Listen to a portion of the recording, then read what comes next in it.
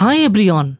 Before we start learning Python programming language, we need to install Python in our computer. In this video training, I'm going to show you how to install Python on Windows 11 computer. To install Python, open up your browser and on the address bar type python.org. Press enter and here it is.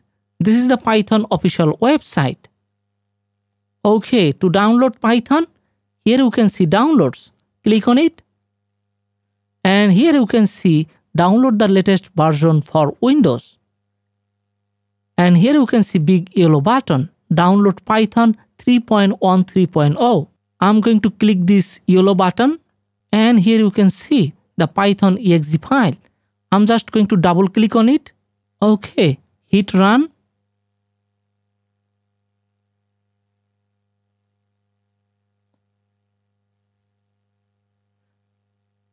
Okay, here you can see two checkbox. Use admin privilege when installing py.exe. I'm just going to check this. And here you can see another option. Add python.exe to path. Just check this. And here you can see install now button. I'm just going to hit here. And the installation is going on. Okay. After the installation is complete, click here, disable path length limit. So click here and finally click close.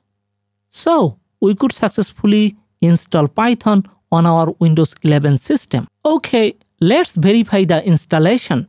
Go to start, click on it, type here cmd and click this command prompt okay here goes the c directory and users and username. And here type python.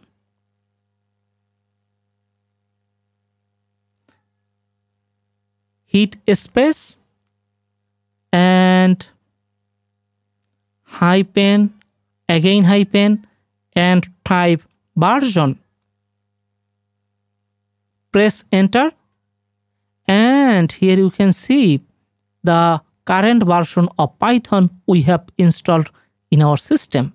It is Python 3.13.0. Now, let's write some code on this command prompt. Okay, to write some code, I need to type Python. Hit enter. Here you can see Python version and date time some copyright text and here on the bottom you can see three greater signs. It is called Python Interactive Shell and we can start writing the Python code from here. Okay, I'm just going to write print and here I'm going to write Brimitech. Okay, press enter and here you can see it returned Brimitech. Let's do a math. I'm going to write 2 plus 3. Press enter. Okay, it's correct. So it was fun installing the Python in Windows 11 system. I hope you enjoyed watching this training but don't forget to hit the subscribe button and like this video to get more videos like this.